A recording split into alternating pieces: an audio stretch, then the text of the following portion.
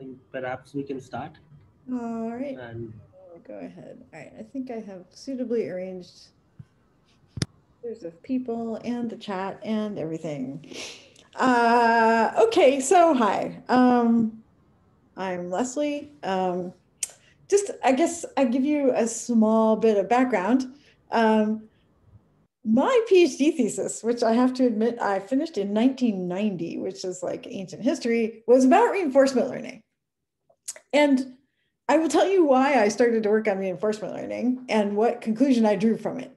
So, the story about how I started working on reinforcement learning is that I finished my undergraduate degree actually in philosophy, but never mind that. But I had done a bunch of computer science and I got hired at SRI, which is a research institute, and they were working on this is before my P, like, yeah, after my bachelor's. Anyway, they were working on trying to make a robot do some stuff. And they had had a really strong robot robotics program there and they made Shakey, which was this amazing robot. But basically, all the people who had done that left. And then there were just a bunch of us, like complete newbies, who were supposed to make this robot do things that we didn't know anything, like really nothing. So there was one guy who's an awesome engineer, and he made the ro- made the physical robot. And somehow I was a software person, and I knew something about AI, and so I was given the job of trying to make the robot do stuff. And so I tried to program the robot to go straight down the hallways in the building. And the robot had these terrible sonar sensors, which would they they gave you just really bad data. And so I had to write this program. I was supposed to write a program to make the robot go down the hall. So I didn't even know anything about control theory, but I kind of, you know, I managed to reinvent proportional control because that's not too hard to figure out. And um, but still, it was really hard to do. And every time I'd write a program, it would be wrong, and the robot would crash into the wall, and I would bring the robot back and I would try to fix it. And then I'd make a new program, and then the robot would crash into the wall, hopefully now for a different reason. And then I would try to fix the program. And eventually, like after a few weeks, uh, I had a pretty good program. Um, and what I figured out was that I had learned how to make a robot use its sonar sensors to drive down the hallway. And but the lesson that I drew immediately from that experience was that I should not be the person who is learning that. It should be the robot and not me. So then that's a good motivation for doing learning because you take the human out of that loop. And what I was doing was basically was policy search. Um, guided by i'm not sure what not exactly continuous gradients but i was doing policy search Okay, so reinforcement learning. So, uh, so it's a really cool and useful paradigm for all kinds of things. And so I worked on that for a while. And I actually even had a robot do actual reinforcement learning during my actual thesis defense, which was kind of exciting. Um, but then I got interested in trying to solve big problems like, and I found that I didn't see how to get RL to do exactly the things that I wanted it to do. And so I'm going to give you a talk today about problems of the kind that I want to solve and the way I think about solving them. Um, and so this is more of like a, this is not a normal kind of class lecture type thing. It's more like a talk I give when I go out in the world and talk about my research, but it connects up very well, I think, with what you folks have been talking about so far in this class.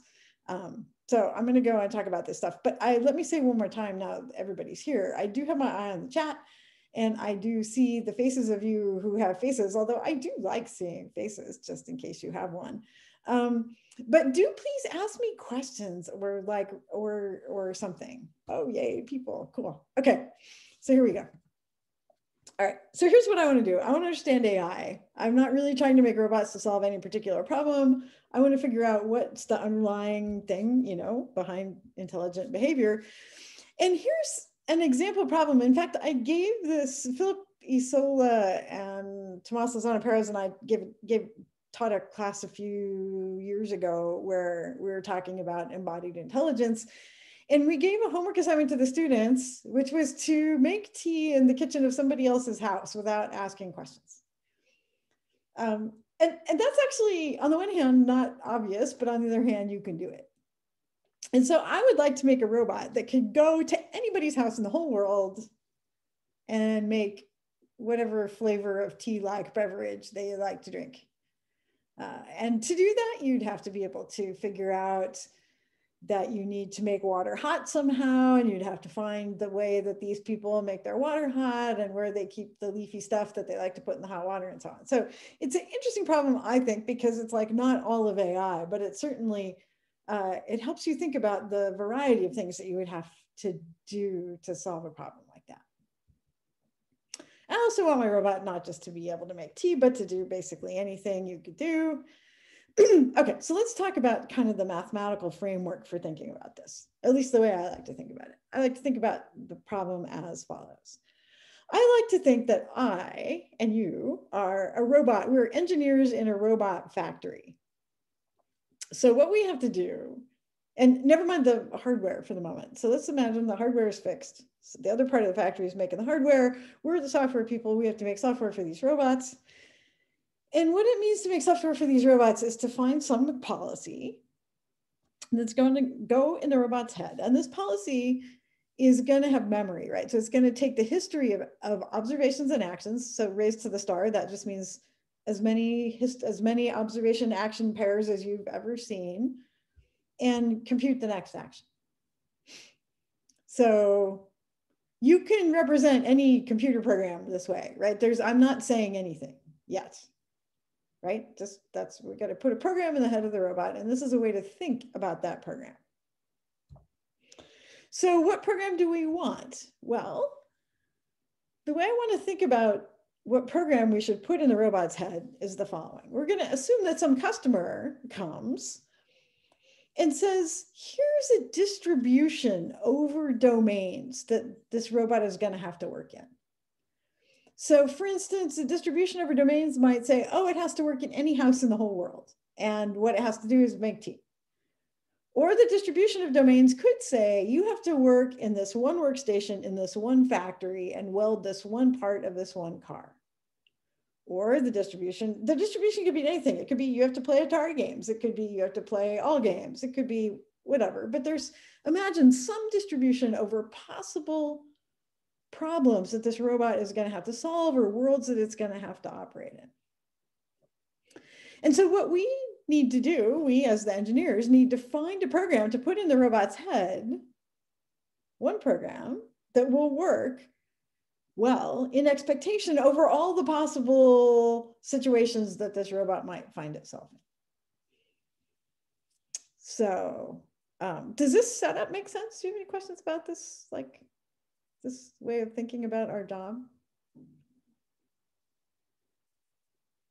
No. Okay. All right. Well, so why do I like to think about the problem this way? I like to divide up the problem of making the thing and thinking about what it's supposed to do out in the world. And one of the reasons that I like to think about it this way is that if it were possible to specify the distribution over domains that the robot would have to work in, which I agree is difficult and you know in general probably sort of like impossible. But if we were if we were to be able to specify that, there would be an optimal pi. Like we wouldn't have to argue if it should have learning in it or reinforcement learning or whether it needs symbols or neural network goo or whatever. There would be like from the computational perspective, an optimal policy. So that's good. Like I love, I like to remove grounds for argument because there's lots of arguments going around. But, but, but, uh, even if in the land of math, there is an optimal policy for this robot, given the specification, the problem that we have as the robot engineers is that we have to find it. So we have to be able to do this job somehow of taking a specification and making a policy. And I would say that that's what the job that everybody who right now is kind of like working on AI is working on. So how should we do that? So that's the question. Good. If this if this setup doesn't make sense, I really want you to ask me questions because I'm going to build on it now for an hour. Okay, I trust you. All right. So one way to think about this problem that we have, right? So we, we have this distribution over domains. Let's think about some properties of that distribution over domains. So one, let's see, I have my x-axis here. This is informal. This is just kind of to help us talk and think about things. Um, so one axis you could think of as being like how complicated the job is that the robot has to do, or, or really the way I like to think about it is like how much variability is there? right? So over on the left-hand side of this axis, this might be like, you know, I don't know, I have to weld this one part in this one factory, or I have to vacuum this one room in this one house, or I have to just do some like really narrow job. And over on the right, I mean to say, oh, this is a very general purpose robot. You could tell it to make you steak dinner and it would figure out how to do that. Just very, okay. So that's one axis. And then I think another axis that's important to think about when we're working on this is how much variability, how much uncertainty there is in the factory about the job this robot's going to have to do, right? So um, you might say, oh, this robot, it's only ever going to have to do a simple job. But I, when I'm building it, I'm not sure what job it's supposed to do. Okay, so there's there's a space and we can think about, we're going to think about some points in this space. So uh, this is basically what I said, right? So how kind of broad is your task and how much do you know about it in advance? All right, so now let's think about ways of, of picking a policy, right? So we said we're gonna have to find a policy for uh, problem distribution. We thought about a space of problem distributions. Now let's thinking about a kind of a space of policies. What do we know? And you, you know a bunch of these things. But what I'm interested in is thinking now, just for a minute, really about, in some sense, the engineering methodology, about how it is that we can take a, dom a, a domain distribution and come up with a policy. And we would like, we're going to have to spend some human effort to do that, right? Humans are going to have to write down models and maybe make simulators and I don't know, do teaching and label data and stuff like that. And machines are going to have to do work, right? They're going to have to maybe run optimization algorithms or learning or do parameter tuning or whatever.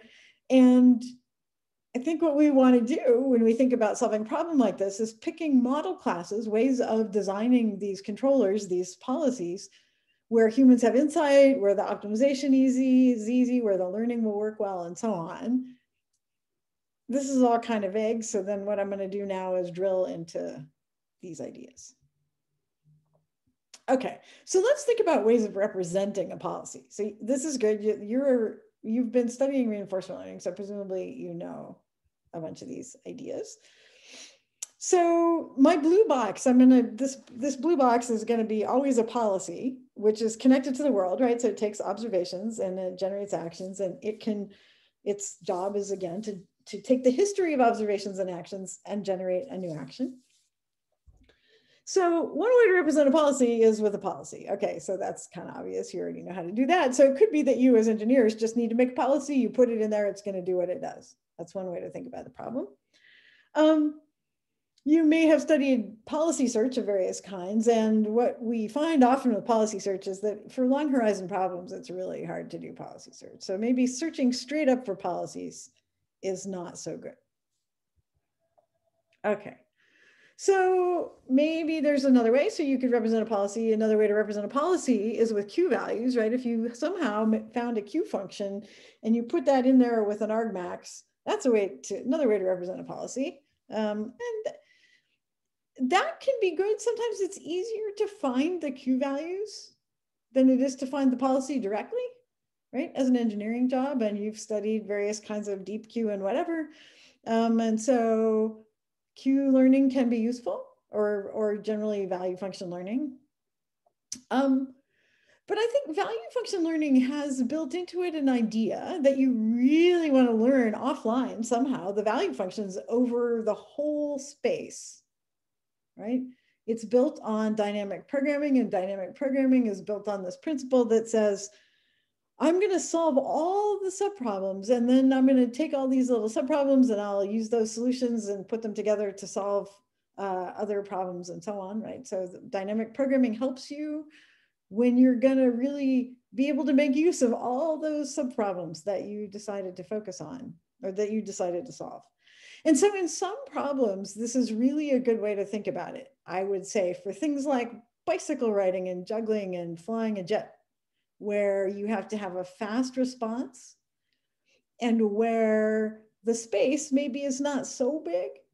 Um, but sometimes uh, it might be more efficient to implement our policy instead of with value functions or with a policy directly, to implement our policy by putting some planning in the head of the robot, right?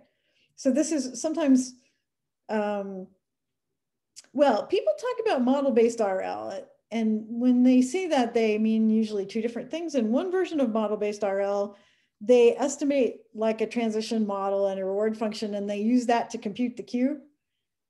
And then and then they're in the situation with the Q really. And what I'm suggesting here is that we could also think about a situation where we estimate the transition function and the reward function. And maybe we use those to estimate a pi and a q. But online, we actually do some reasoning.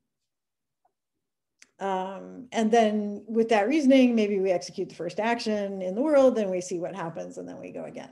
Um, okay, quiz time, because I can't stand to watch you all fall asleep while I talk. So uh, what system that you know about has this structure?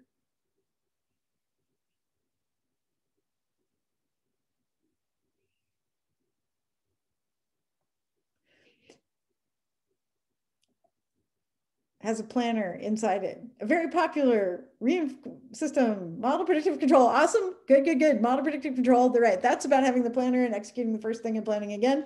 What learning system Uh, it actually knows the T and the R, but it estimates a pi hat and a Q hat, and then it does planning online. Let's see, I will start giving you clues. It actually plays a game. You can play different games against an opponent. A game with black and white stones. Good. Okay. Can I restate the question? The question is, what system do you have you discussed almost surely in this class? AlphaZero. Yay. Good. Okay. Good.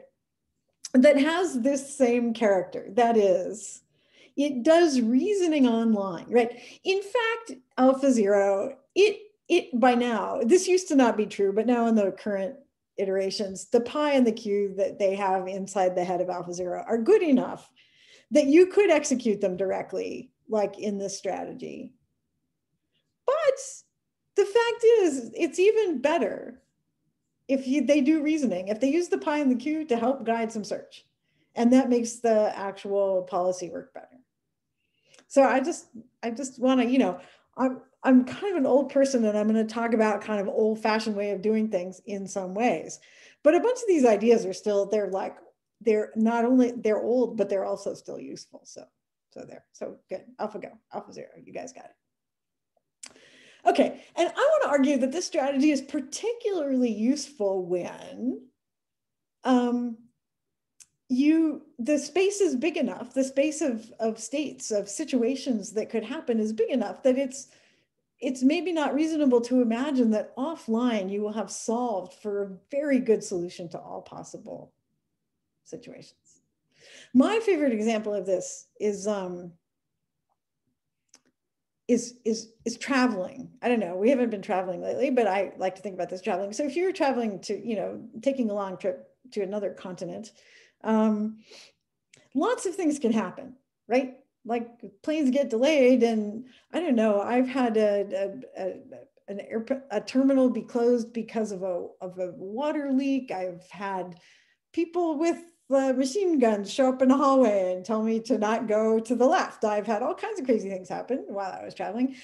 And I don't think it's sensible to imagine that I have precompiled a reaction to every possible situation that could happen, right? And that in fact, I had to maybe invoke some reasoning to decide what to do in those cases. Okay. But if we're going to talk about planning, reasoning, thinking about the effects of our actions, uh, we have to think about what space we want to do the planning in. And you know, you can read now, there's more and more kind of model based type papers, and some people are doing, trying to do planning in a kind of a raw space, sometimes in images. Um, and, but images is a hard space to learn a transition model in. So then maybe we can cook up a latent space to put the transition model in and so on. But I just want to argue, at least here, that you have to take a lot of care with uh, a good kind of abstraction so that if you're going to do planning online, uh, it's it's it's it's effective and efficient. And I'll talk more about that. Okay, so then I personally end up with a kind of a crazy system. And again, like there's lots of people right now in the RL world who are building systems that look sort of like this, right? Where now we say, oh, I'm going to get my observation of the world. Maybe that's an image. And then I'm going to run it through some box that like tries to uh, interpret it in some way. Maybe it produces a scene graph or some list of objects and relations or something like that. And here I have it being only feed forward, but actually for any problem that I care about, it needs to have memory, right? Because I don't know about you, but I remember a lot about what's in my kitchen and I can't see it right now, but I can think about it. And so I need to kind of know, uh, I need to know about it. And then I can take this S hat, this kind of some estimate.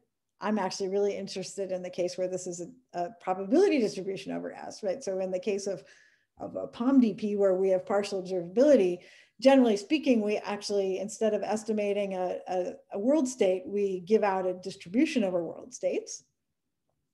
Now the planner can take that and do something with it. And now maybe it gives out, uh, instead of a low level control action, maybe it gives out a kind of an abstract action. And then maybe I have a low level controller that can actually, you know, do the torques that would make that work. Okay, but um, the horizon might still be too long. And another thing that I spend time thinking about is actually, and I probably won't go into this more today, but actually doing this planning hierarchically. So making a high level plan, like with four steps, you know, to get to the airport by getting to the, you know, get to my local airport, take a flight, get to the other airport, take a taxi. Okay, that's my high level plan. Now I have to take the first step of that and decompose it. Okay, let me just look at what my timing is like. Um, okay, good. Um, so, all right, so let's go back. We talked about a space of policies and we talked about a space of problems. So let's think about how we can do things with the space of problems and the space of policies. So down in the lower left corner, certainly one strategy that has worked well for a long time and continues to work really awesomely is just en is engineering, right? So smart people understand the problem, they use principles of engineering and control, and they build Atlas, which can do parkour.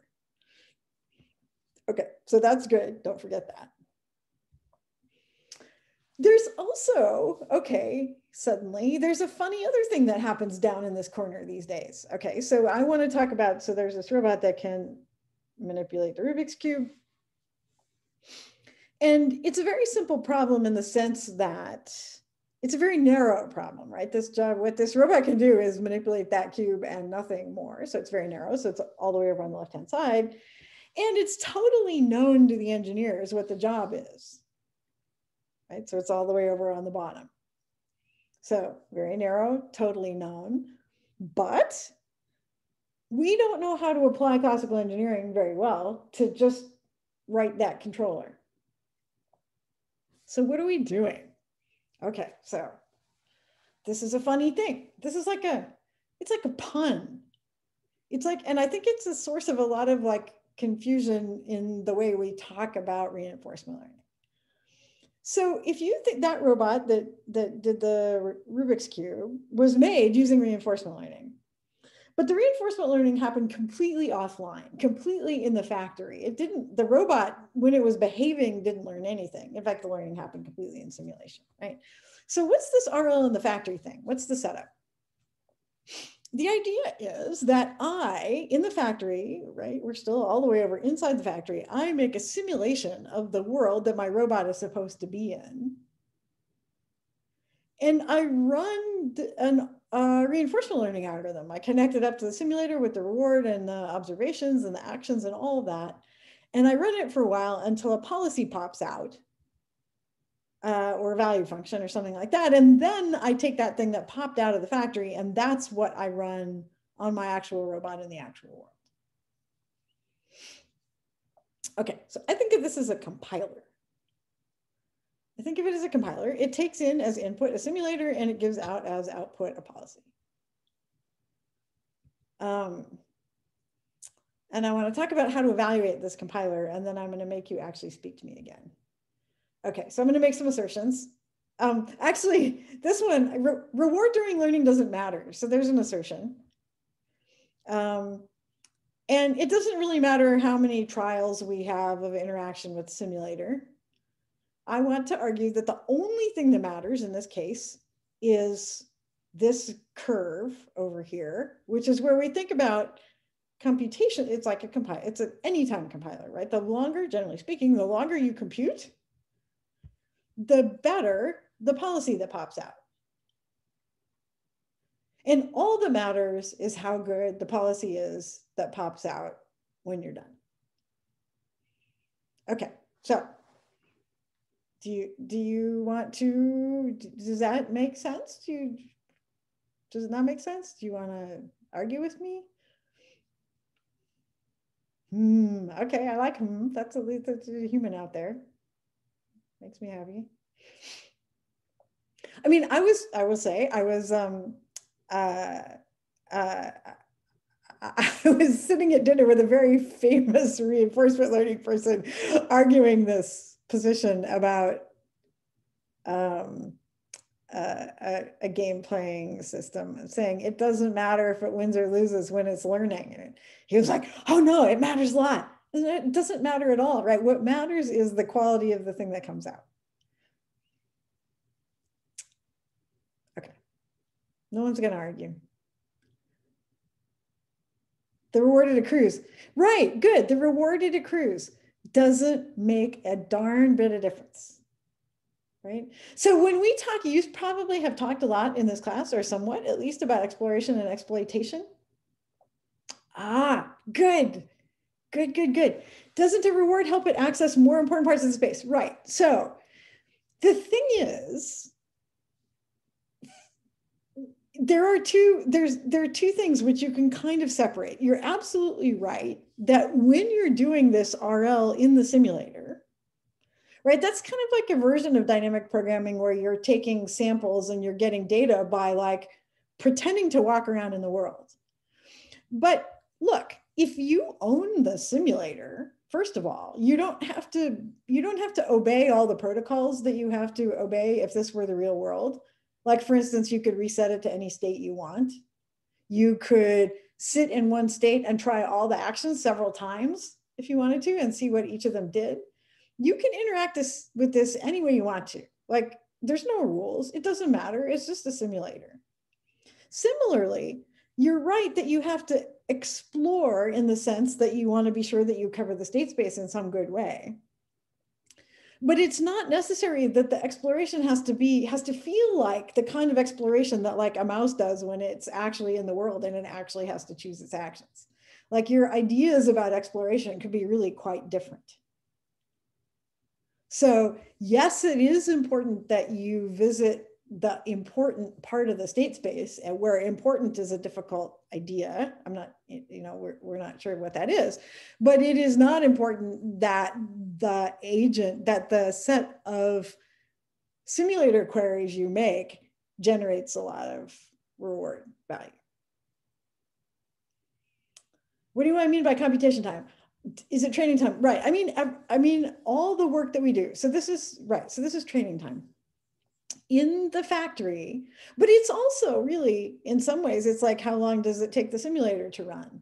And it's how long does it take you to fish things out of your replay buffer? And it's all of that all added together because in some sense, inside the computer, it's all uh, fungible. It doesn't, you know, out of all the time I spend here, it doesn't matter how much of it is spent computing the simulator update and how much of it is spent doing the neural network training or whatever. It's just, you have to pay for it all. So defining the actual reward function your reward shaping is important. Right, right, that's right. So, well, reward shaping might be important, but certainly some method of making sure that you explore a lot is important. That is true. Um, but you're right, crashing is totally good, but crashing just doesn't matter. Like in the simulator, you can crash all day long. Maybe that's a good idea. Maybe that's the most efficient way in computation sense to learn a good policy.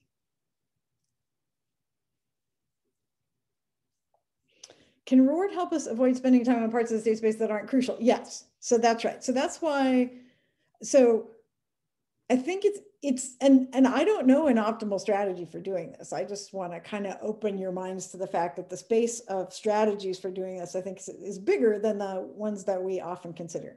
You're right that the reward is important because you don't, for instance, need to learn, you don't actually need to learn a policy over the absolutely whole space, probably, given if you know some initial distribution, then maybe there's parts of the space that no good policy will ever visit. And so there's no point in learning what to do in those parts of the space.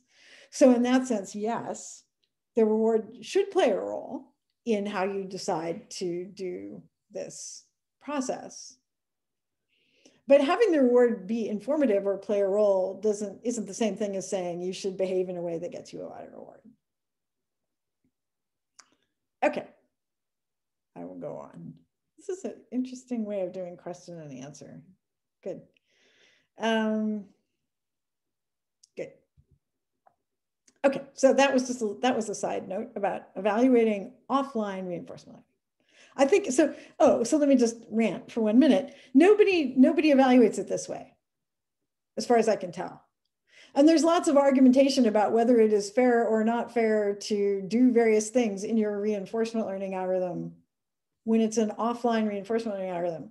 And I think absolutely everything is fair. It doesn't matter. You do absolutely anything you want to to go from what you know about the problem to a policy. But it should you should try to make it not take too long and you should try to make it give you good policies. Okay. All right, so as the domain gets more complicated, I think what people have been doing then is kind of actually um, building systems that do more online deliberation, right? So these ones just, they kind of online, they just have a policy that they execute. AlphaZero, mu zero, right? They're starting to do more kind of reasoning online um, I'm going to take a minute and talk a little bit about a system that I've worked on for a while uh, called hierarchical planning in the now. Um, and it doesn't do any learning at all. So it's all the way blue. So it's just very engineered, but it works, it's very broad in the set of problems that it can address. And the reason that I spent time over here in this corner, even though I am interested in learning and I am interested in problems where we don't know uh, uh, you know, everything about the domain that we're going to work in, um, is that I wanted to understand some structural ideas that we could maybe use to then move up in the learning direction. So I want to talk about that. Okay, now first I have a tiny little, another rant. So, you know, you, you asked me to come and talk to you, you get some ranting. All right, so we talked about this RL in the factory business, right? Where you build a simulator and you do RL and out pops a, a strategy. And I want to just for a little while contrast it to the strategy that we old fashioned people use when we make a robot that is supposed to do a lot of problems in the world. And the and and I think it's really an interesting contrast and and worth understanding. Um, uh, and and the way uh, my colleague Tomas would describe it is that they're both very general systems in a sense, but they're general in different senses. So this RL strategy tends is a very general strategy for taking simulations and making policies. And one of the things that's in fact so attractive about it is that you could pretty much you could put any simulator in there and get a policy for any kind of domain. So it's very, very general in at the methodology level. But in it seems to be really most successful when the actual system that we're producing is relatively narrow. That is to say, it's really focused on some pretty a task that's not very, very high variance. So we have a general methodology for producing narrow systems, we might say. The other methodology, which I'll talk about, is a way of producing systems that are themselves general at behavior time so that I have one robot that can do a whole bunch of things. Maybe it's not as general in the, in the set of domains that it can address, but the one system can do many things instead of a methodology for making individual systems, each of which can do one thing. All right, so in both cases, we have to specify the reward, right? You have to tell the system what you want. Um, in the problems I work on, well, so let me talk about uh, specifying reward versus specifying, like say, some kind of a goal. And I'm gonna uh, just make a little detour here. I don't know if you folks have talked about this, um, but, but, there's the, a suite of problems that you could try to solve with a robot. Um, they are all involve manipulating objects in various ways or just moving the hand. So it's a kind of interesting test suite. We looked at these and said, well, man, these are all pretty easy robot problems. If you just, if you know about your robot, they seem like they're maybe not so hard. Um, we, I spent personally some time trying to understand the reward function. So I looked at the reward function in MetaWorld for the pick and place task, and this is it. Okay, that was terrifying. I expected to find like some numbers or a couple lines of code, but no, this is the reward function. The reward function has memory. Um, and so I, I boiled it down. So I studied that code. Uh, it has like 10 param 12 parameters, has 12 constants in it. And uh, it's a program, almost a program, not quite a program, but almost a program.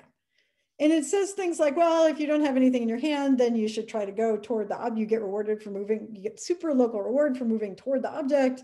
And then if your fingers are kind of like around the object pretty close, then you get suddenly rewarded for closing your fingers. And if you've got the thing and so on. So it's like a program for solving the problem, which is like, you know, I don't, I don't object to engineering, but I want it to be exposed, right? So some poor student, I think, had to do a ton of work to write this reward program and come up with the constants.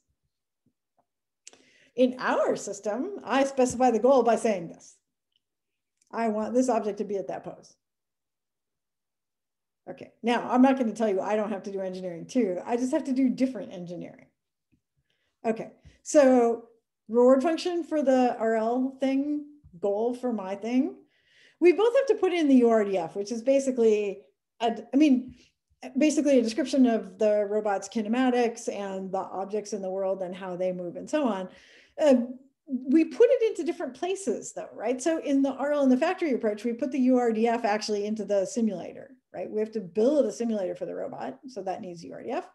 I put the URDF into my planning system somewhere because I'm going to plan how to move the robot. They need physics.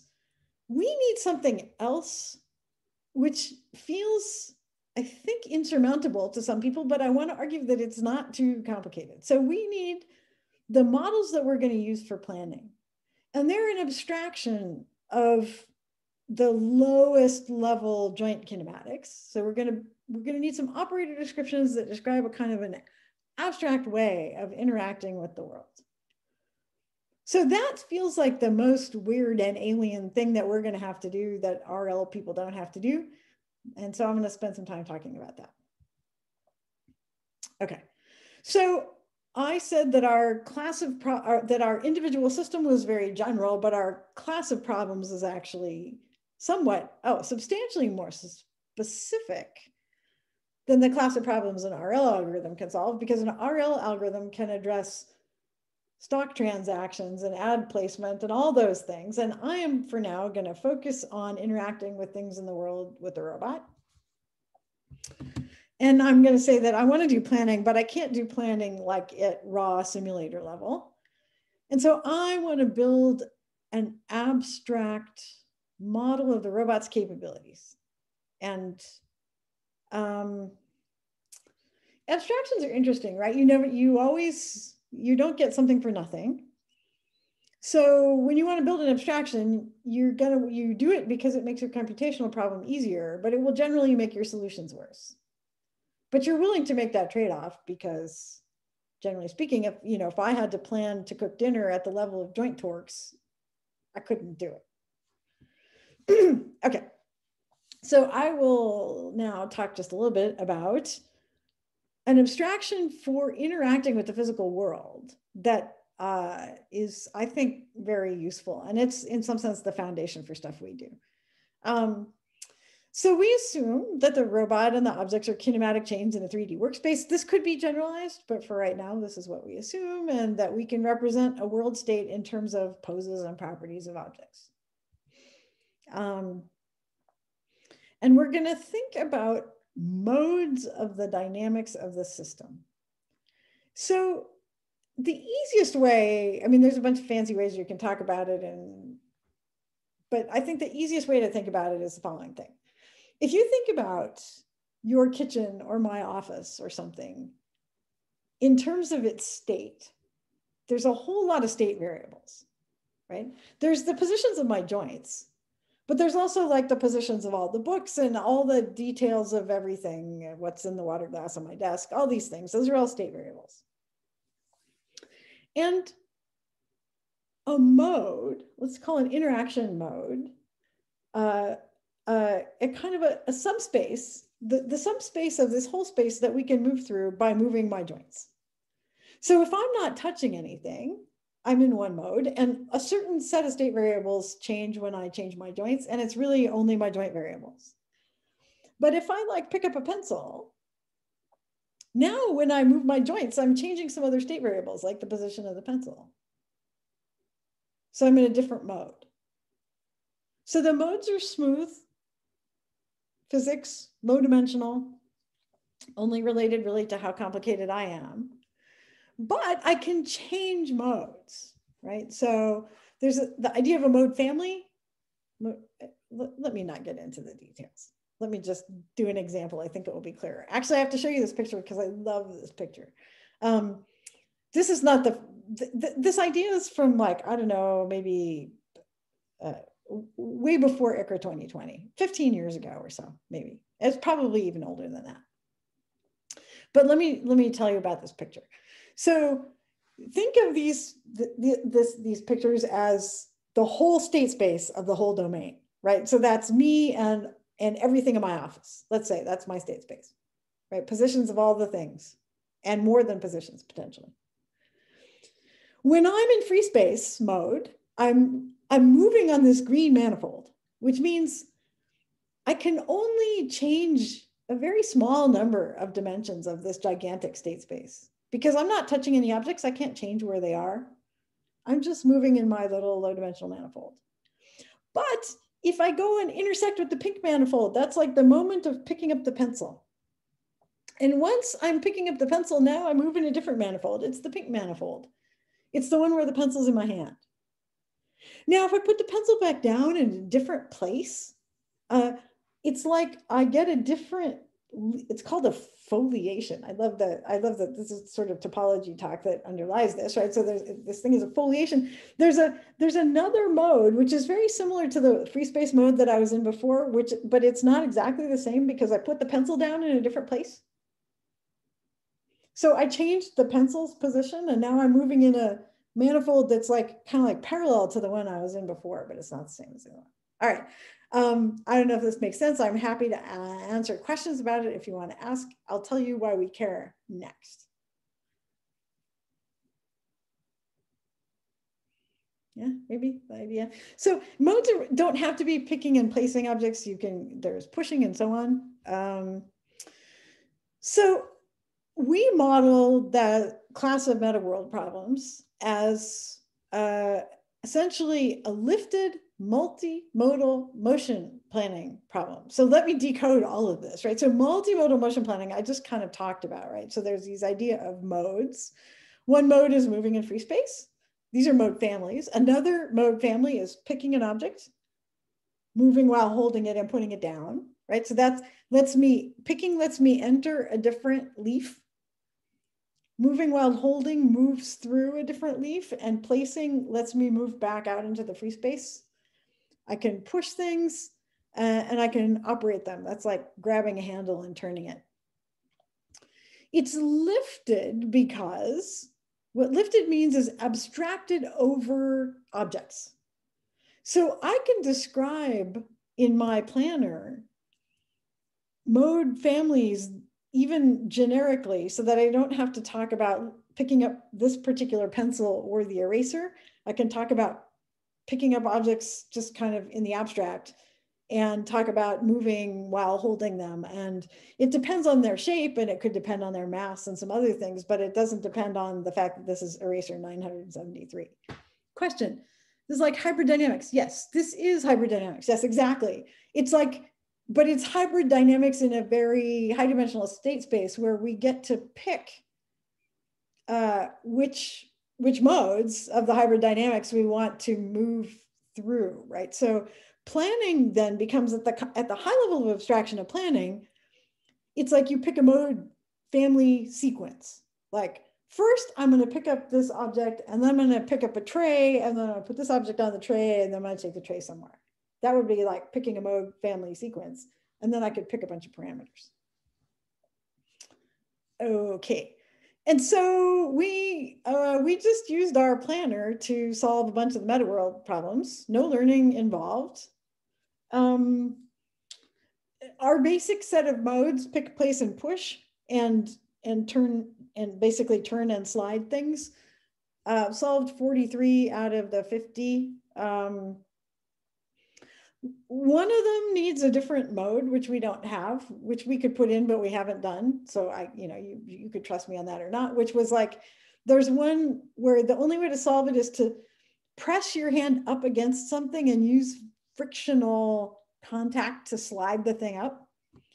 So I would have to write a new piece of code, not very much, but I would have to write a new little thing and add a new mode family in order to solve that. Some of the other ones we can't solve because MuJoCo physics is not like actual physics. Um, so I don't feel bad about that.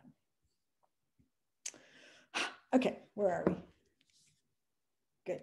Um, so, right, so I'm gonna take this architecture now and talk just a little bit about the hardcore, the kind of completely engineered thing we built.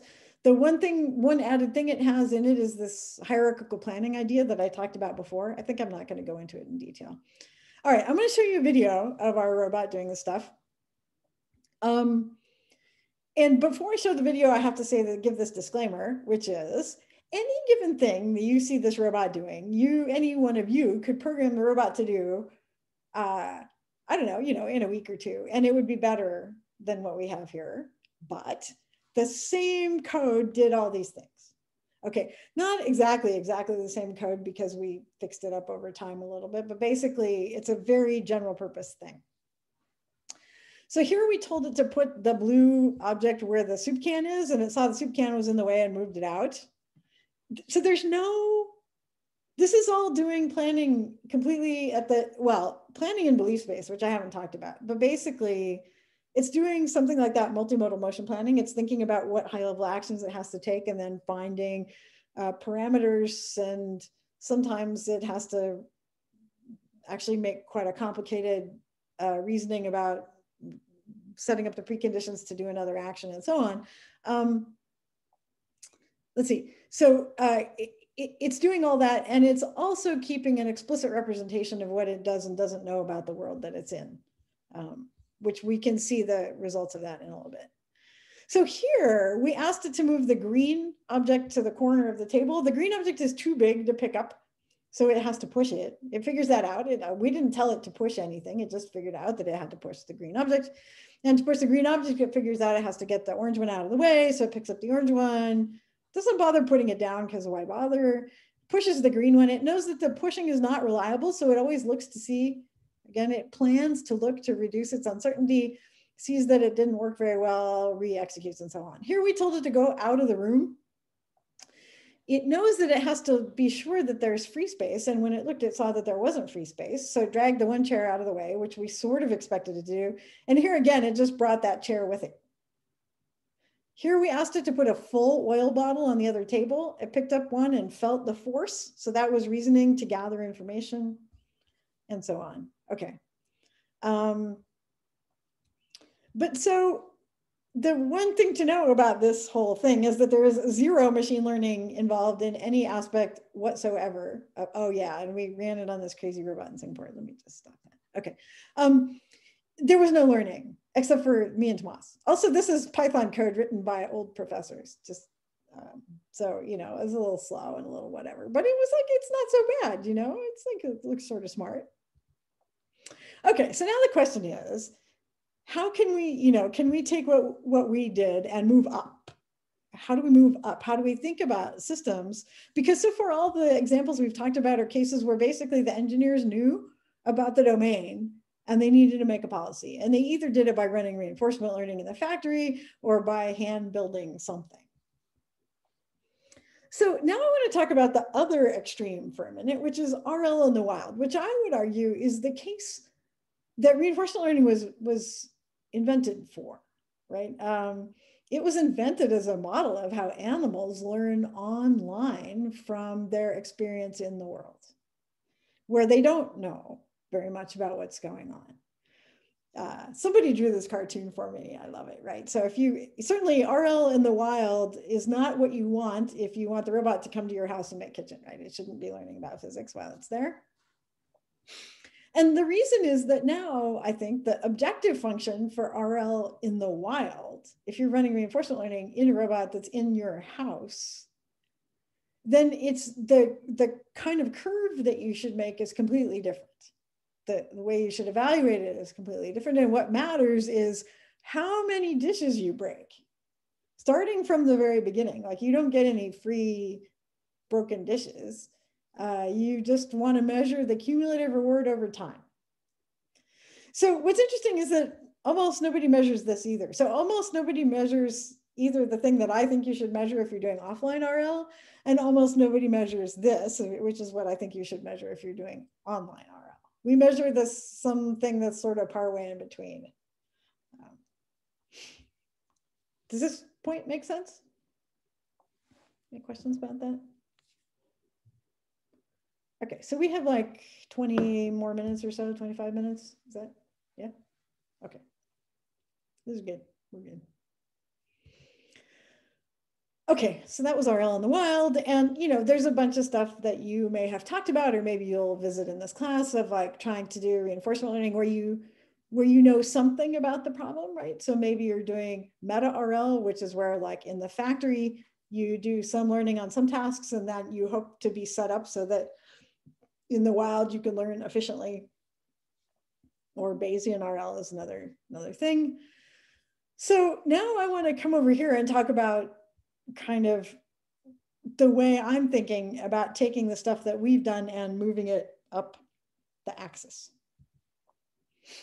Okay, so I had this kind of architectural picture which has a bunch of pieces. And now we can think about, well, how can we learn different pieces and parts of this thing? So the first thing I want to talk about is work that we're like really just doing right now. And in fact, we don't even really have a paper, although I hope to have it soon to circulate. Um, and the idea is the following. Um, in the in the manipulation stuff I showed you so far, we had to have we had to have models of the object classes. We had to know in advance, not just the classes. No, no, excuse me. We had to have models of the instances. We had to know the shape of the oil bottles we were going to be operating on, or the shape of the blocks or the cans, or whatever we had to know in advance exactly what the universe of objects was. So, one step that we can make uh, of, to generalize things, which I like to call MOM, manipulation with zero models, um, is to keep absolutely everything about the old pipeline, so the basic kind of task and motion planner and so on, but to say that we're not going to know in advance the shapes of the objects, like nothing, not the classes, not anything. So first of all, all the vision people who tell you the vision is done, they're wrong. So we tried everybody's favorite segmentation algorithm and they all kind of suck.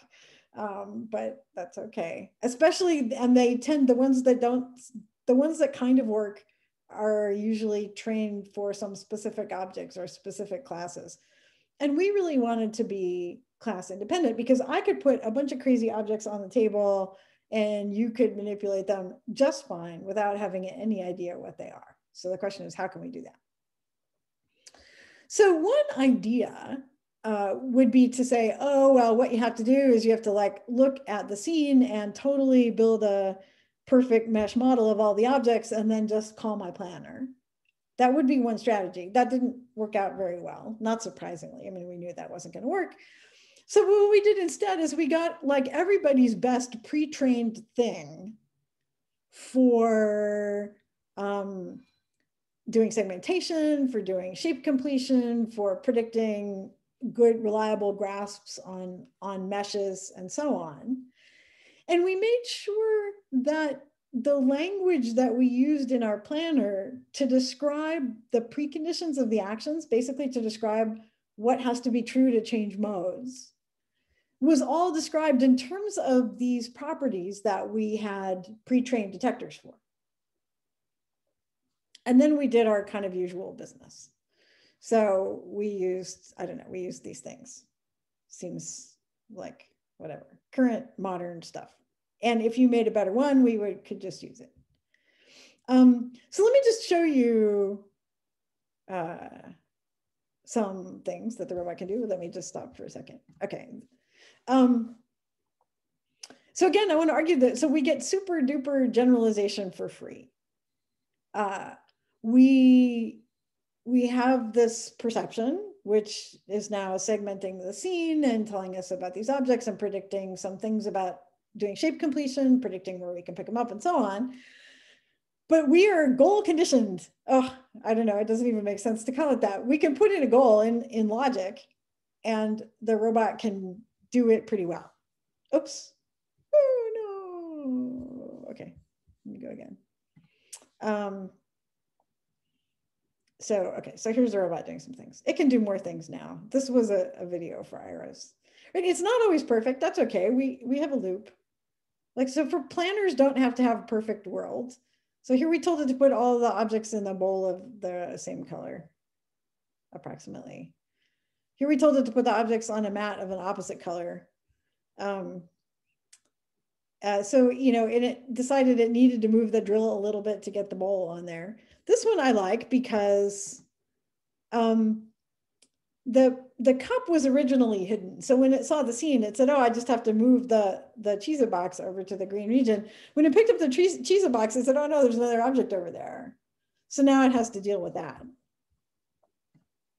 Um, so it puts it over there, misses the box, decides to move the cup for some reason. Eh, so it's not perfect, but it's like it's non-terrible, and it can do fancier things in simulation because that's how simulation is. Um, so that's an example of taking my architecture here and learning kind of perceptual modules to make it better. We can also learn other kinds of things. So another kind of thing is we can learn an operator model. So I'll talk about this and then probably that will be enough. We'll see. Um, so, okay, so almost all the current work in reinforcement learning on robots is about learning new skills, right? So you could learn cutting and pushing and stirring and pouring and throwing and all these things. And that's good. Like, I think there are good methods for doing that. Um, but you know, nobody wants a robot that can only cut. So the question is, after you've learned how to cut things or push them or stir them, how do you put that together into a bigger system that can do all those things and do it for some reason, right? So what we focused on was this question of how could we build like one of those sort of multimodal motion planning type models of a skill so that we could add it to the robot's general repertoire. So an example here is pouring. So imagine that you learned a nice controller, some kind of feedback controller or something for pouring.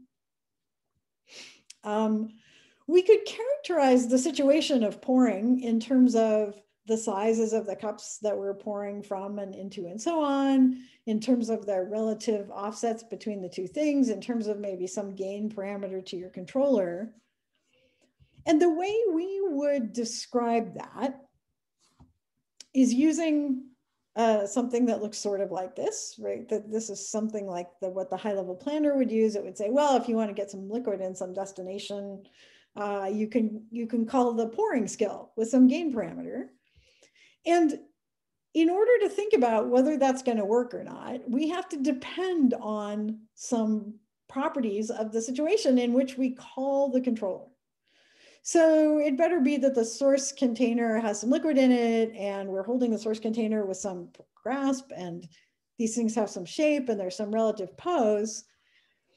And what I really need to know is a constraint, a kind of a relation on all these continuous parameters uh, that has the property that if this relation holds, if this constraint is true of all these parameters, and I call my pouring program policy, whatever it is, with this gain parameter, then afterwards there will be liquid in the destination.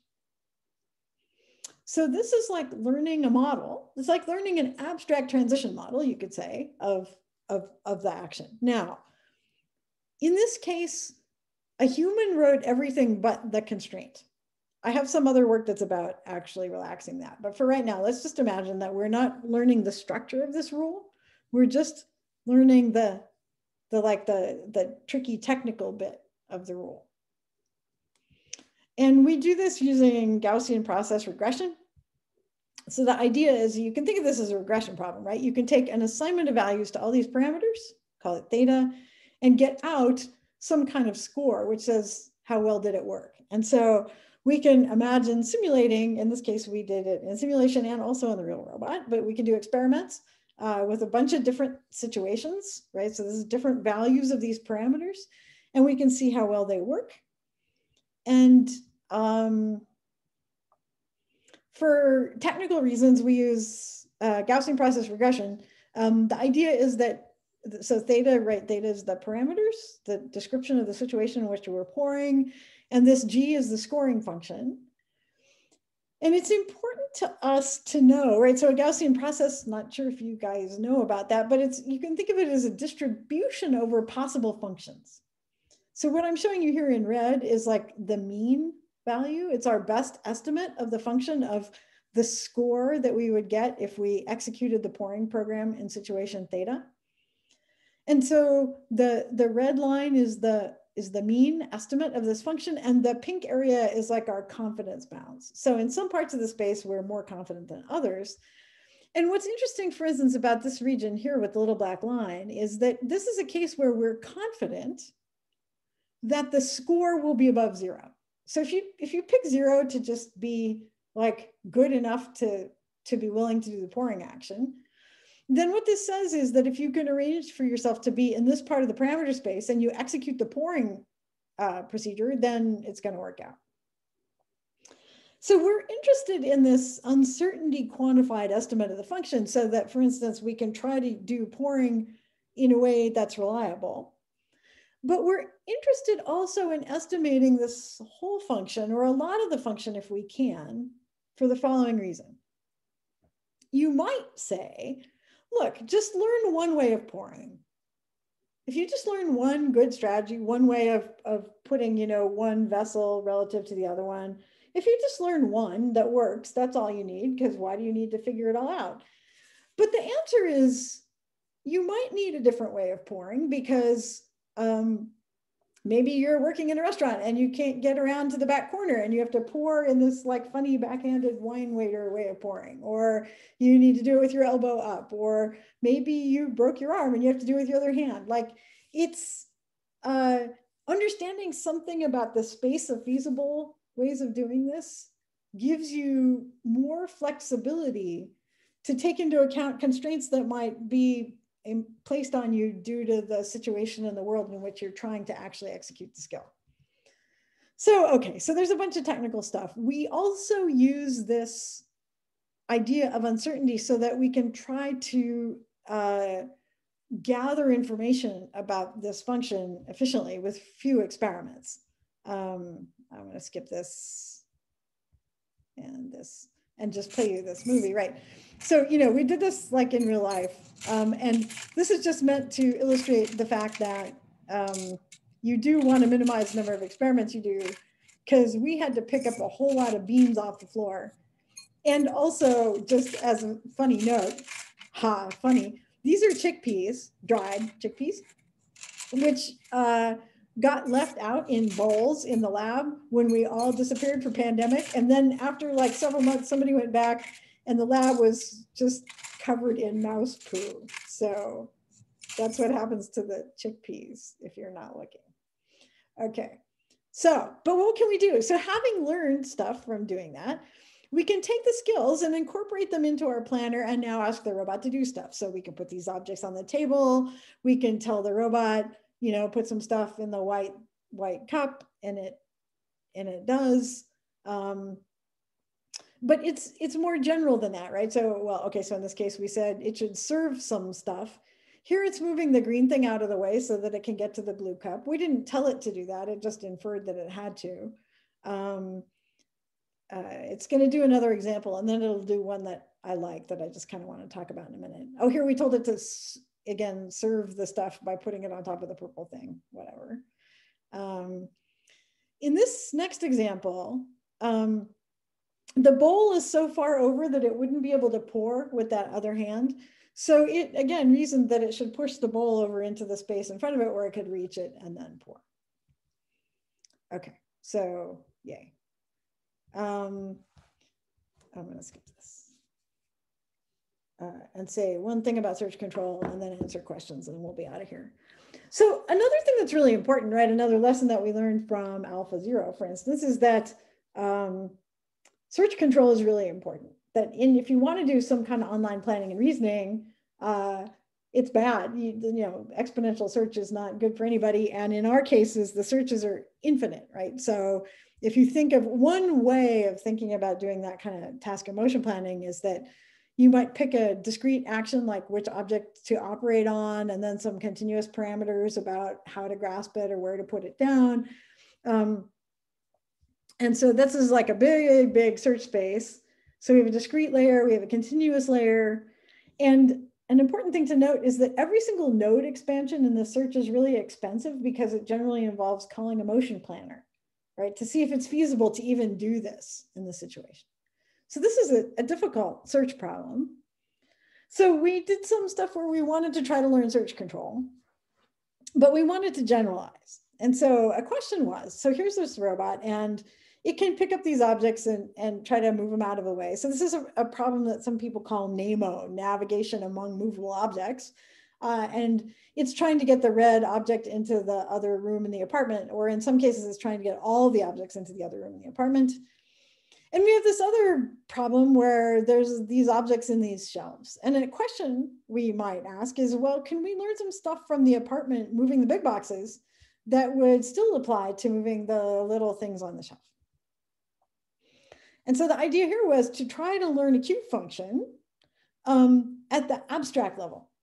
So uh, we had an intuition that um, it might be enough or not enough, but it might be easier in some ways to learn uh, still a Q function using the basic idea of Q functions that you already understand, but where we think of it only really about the discrete actions under the assumption that the planner is going to do the best job it can of picking the continuous parameter. So you pick a discrete action like pick object A, you assume that some other sampling method, which we could talk about, but I'm not going to, uh, is going to pick the best continuous parameters. And we're interested in knowing what's the Q value of doing that. So this way we can kind of reduce the branching factor and so on. We use a graph neural network to represent this Q function, right? Because in different problem instances, there will be different numbers of objects. So that's important. And we hand design some features to compute and put on the nodes and arcs. And, and they're actually really important. So they involve uh, actually to compute the features in the graph neural network, we have to do some motion planning calls. And there are things like, is this object in the way of that? Right, so is the red object in the way of the green object? So uh, Beomjoon thought that was an important feature. I think he was right. So we make the graph neural network, we learn the parameters in the graph neural network so that we can regress from a scene described this way to a Q value. and then we do this training, oh, loss function doesn't matter. Um, and so we did some stuff where we trained only on moving a single large object. Uh, and um, and we're interested in knowing how does it perform when we have to move all the big objects or when we have to just move the little objects in the cupboards. Um, and there's an existing algorithm in the literature that's pretty good. So that's the blue thing. We cooked up a simple heuristic, which terrified us for a little while because it worked really well in two of the domains, but it totally didn't work even a little bit in the third domain.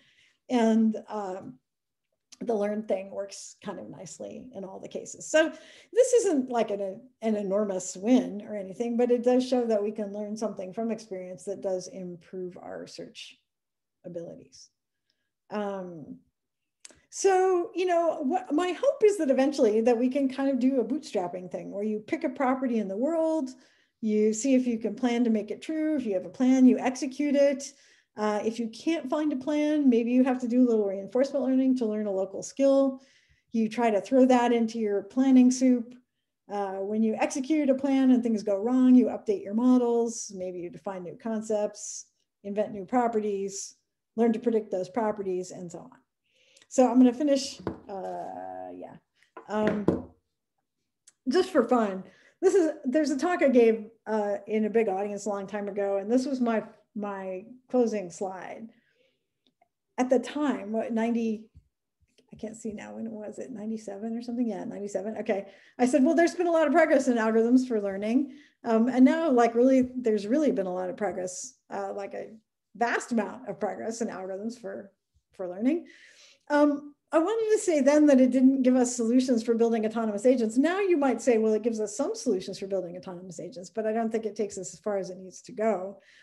And that we need human insight still, I think, to be able to complement the machine learning stuff. And the kind of human insight that I want to build in is not facts, but ideas about algorithmic decomposition, right? Ideas about having some searching online and what search algorithm might you use and how might you learn some pieces of structure that can help that. Um, so uh, this is good and it was work with a bunch of students and here's the robot screwing up and we have a few minutes. So I'm happy to answer any questions.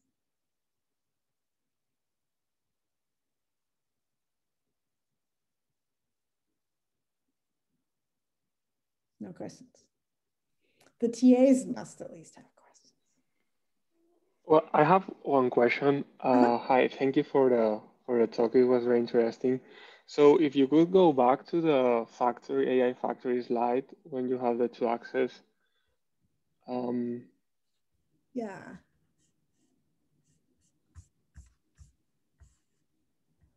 Like this one. Uh, yeah, well, in, there was the most the, the latest one that you showed. It, it's the one that I'm thinking about the one that you showed um, meta reinforcement learning there.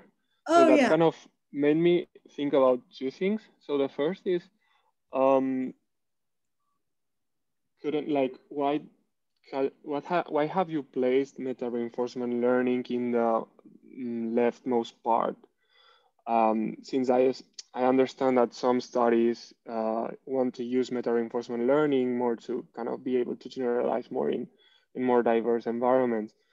And then the, the other question maybe, do you think that um, you can trade both axes. So instead of of representing on on on the horizontal or vertical, you could you could have kind of um, a curve or that trades both objectives. Uh, yeah, absolutely.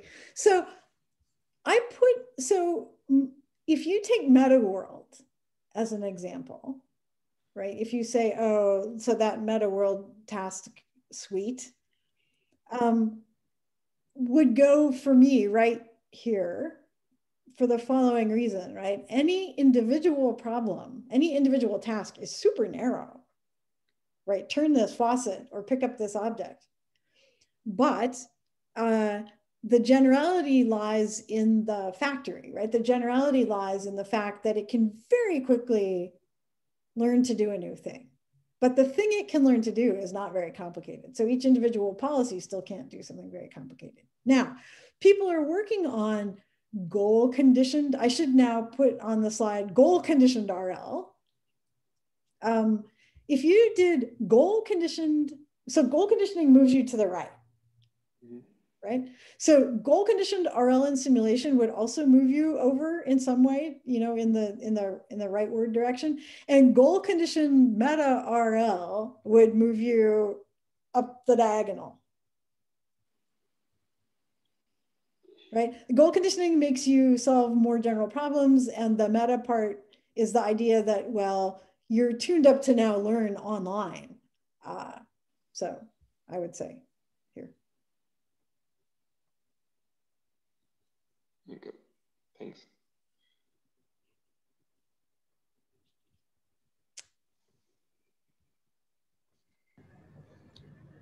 No one has any controversial questions for Leslie? Really, I like it. Like, argue with me. Tell me I'm wrong. Yeah, I have a question about yeah. the like the planning. So to do planning, we have to define the state of the environment first, and that's kind of a, a like a bias that we give to the system. And but sometimes I think like it's very hard to define what the state is, like the state definition. For example, if we are manipulating an object, if we know the state, then we can do the planning. But how can we define a state of the object? For example, the position is easy to define, but the orientation is kind of like depends on the coordinate system that we give on the objects. So I guess my question is like, uh, so uh, like I agree we should do perception first, but what kind of output we should we need from the perception module? Good. So I think th that's a, that's a good question, and I think I think it's really important for the perception people and the planning people to work together because I think what's happened at the moment is that the planning people are assuming something that perception can't deliver and the perception of people don't know what it is that the planning people would find useful. So we have a little bit of a gap.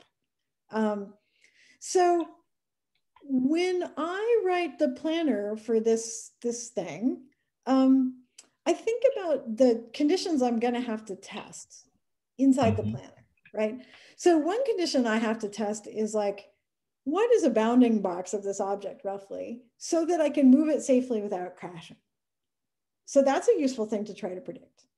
It's useful to try to predict whether these two objects are one object or two, right? So segmentation. It's useful mm-hmm. to try to predict where could I put my fingers on this thing and have it be stable?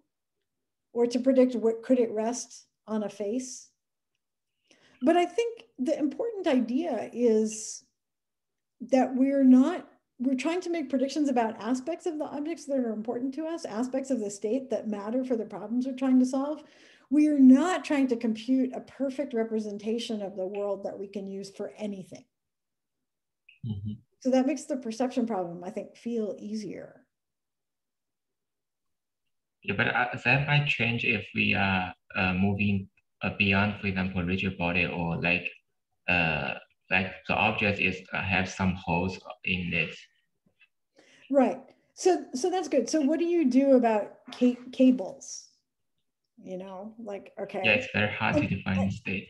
And I think so. I think there's two things. One is that manipulating cables is more like pouring than it's like uh, the high level task and motion planning, right? So if I need to be very good at manipulating a cable, I think that that probably goes in a policy.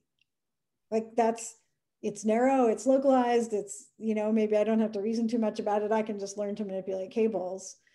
But then I can still represent the state. For instance, I can say, there is a cable and it's white and it's about this big around and it takes up this volume on my desk. And mm-hmm. maybe that at the abstract level, that's enough. And at the specific level, I'll have a policy for like unwinding it or plugging it in or doing whatever I have to do. I see. Yeah, that makes sense. Thank you. Sure. Okay. I think time is pretty much up.